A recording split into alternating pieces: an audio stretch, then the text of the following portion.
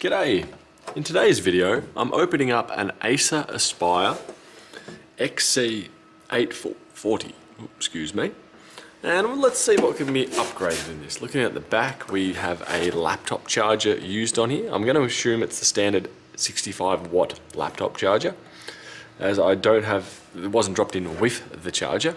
As you can see, we have very basic I.O., four USB ports, HDMI, VGA, Ethernet, and three channel audio, three port audio ports on there. We don't have a dedicated Wi-Fi card, so I feel like this is going to be the very basic one. I have looked at its older, slightly older brother, that XC830, and that one had very few upgrade options. So I'm going to assume that this is going to be basically the same.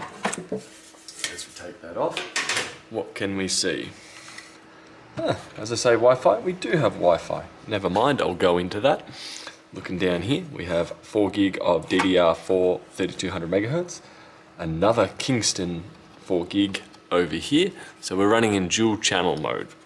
I'm not sure what actual processor's in this, but I'll look that up in just a moment. To take out the RAM, which I'll just demonstrate now, if you are going to upgrade your RAM, zoom in here, get you here. These metal tabs here flick out, and the existing stick should go up like that, as you can see there. From here I can grab it and pull it out. You can see the copper pins here and a gap here. We want to line that gap with this gap here. Put it in on a loose angle and then pull down. So if I go here, push it into the gap, just kind of sitting there. It's a bit springy. And then if I push down, it should lock in like that. So that's how it should be looking for you guys. You can do the same over here as well. And looking under here, we have a DVD drive. To assume there's a power lead hidden somewhere under here. And also we have a NVMe SSD over here.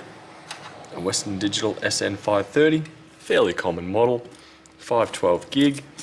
Very similar to what we just did with the RAM there, except we have to take out a screw first. Take out a screw with a very small Phillips head screwdriver.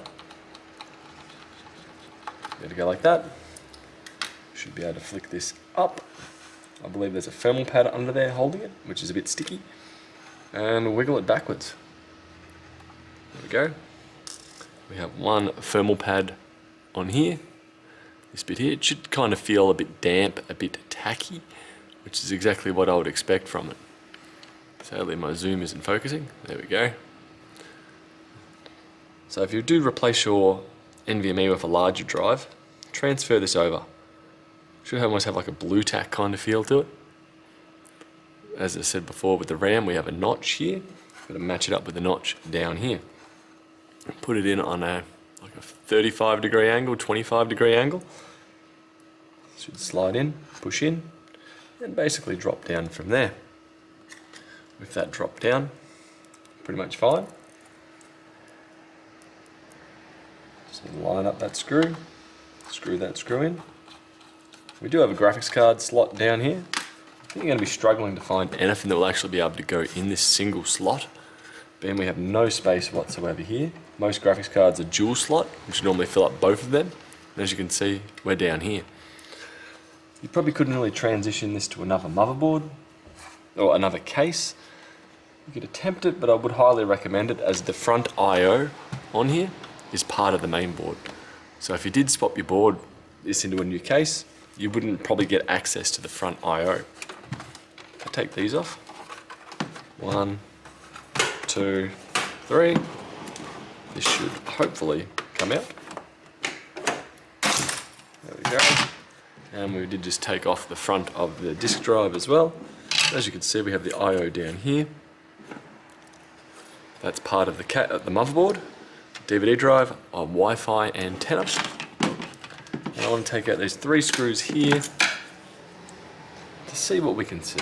Actually, take out one. This one here at the back. Not sure if that's going to let me do anything extra. No. Let's take out the three at the front and see what's under here. This tray, this drive here, This here is an, an hard drive enclosure for a 3.5 or a 2.5 inch hard drive or SSD. It doesn't look to have a SATA cable included.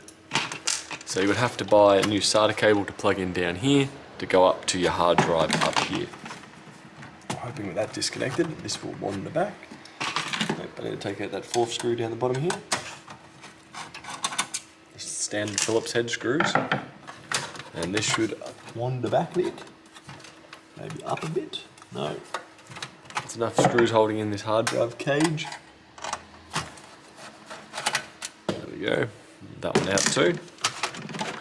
We can go back and up. I'm just going to fold this out of the way. And we can see that we have a SATA power here.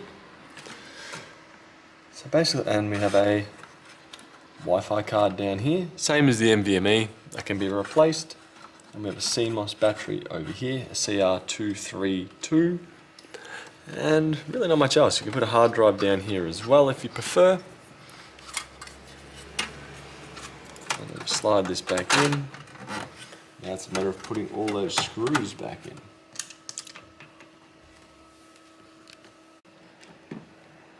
Sadly, if you want to upgrade this for gaming, there's virtually nothing you can really do to it. It is running a Celeron N40, or where is it, depending on where I'm looking. It's either running a Celeron J515 with 8 gig of RAM and a 512 gig SSD, which I believe is probably going to be a quad core 4 thread processor, which is probably only going to use about 10 to 15 watts of power. And that's what I would expect.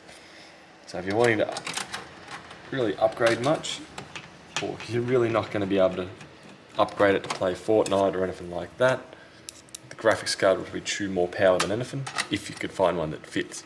Which usually commonly on the market, I don't think you're really going to be finding a single slot GPU, or at least anything that's modern or power efficient.